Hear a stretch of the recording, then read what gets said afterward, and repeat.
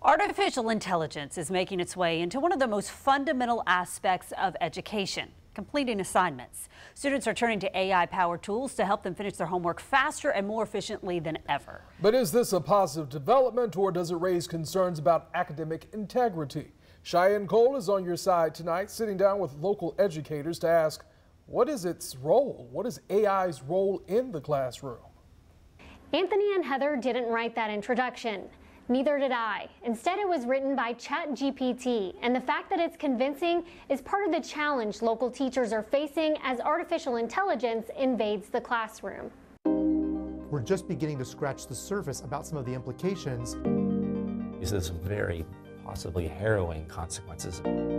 Eventually, that comes to losing our own ability to come up with unique thoughts. That's dystopian. We teach it in school, dystopian literature. David Harvey teaches 11th grade English at Tocoi Creek High School in St. Johns County. After almost three decades in the classroom, Harvey is confronting a new problem students using artificial intelligence to complete assignments. In the past, you would suspect the hand of a tutor or perhaps a, an overbearing parent would be helping out. Now we, you know, you can tell by the responses that it's it's pretty obvious that some of them are using ChatGPT.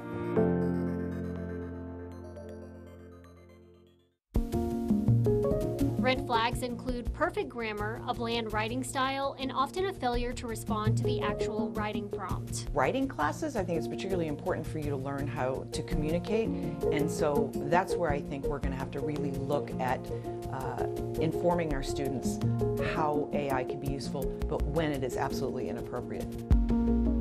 Visiting professor of English Trisha Booker says there's no formal policy for dealing with AI, but the unusual quality of artificially generated work can be detected by the school's plagiarism detection tool called Turnitin.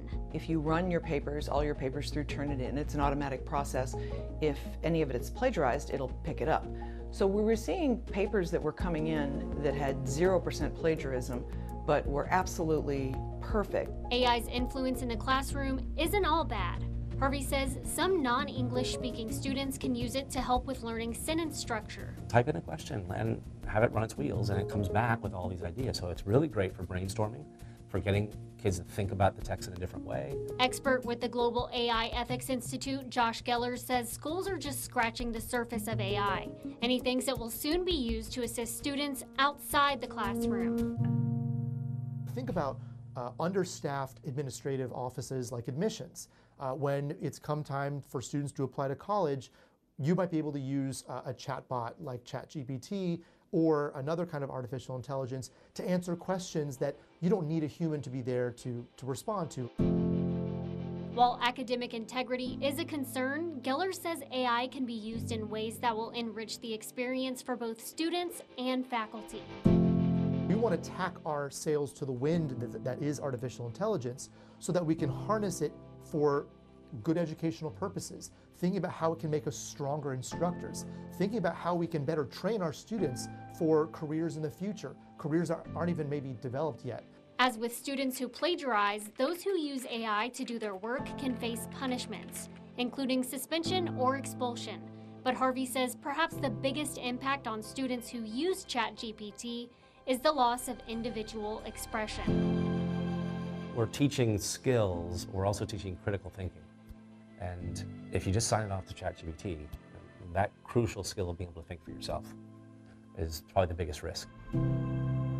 Cheyenne Cole, First Coast News, on your side.